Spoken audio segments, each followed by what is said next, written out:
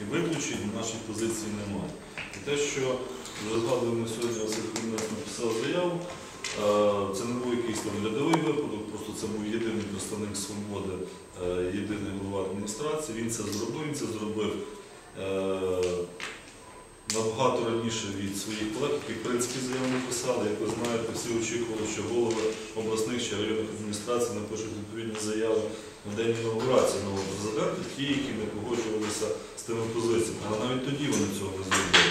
І заяву вони написали лише тоді, коли був призначений новий голова ОДА, запросив їх і, і дав всім чисті аркуші паперу. Е, І ця позиція, це є партійна позиція, і кожен член свободи е, дану позицію відстоював і реалізовував. Те, про що ви сьогодні говорили, про те, що голови е, адміністрації е, ну, десь не виконують свої обов'язки, не дають елементарних відповідей на громадські звернення чи звернення громадян, як це передбачає закон. Насправді це є правдива ситуація, і я, як депутат обласної ради, так, так само з цим стикнувся.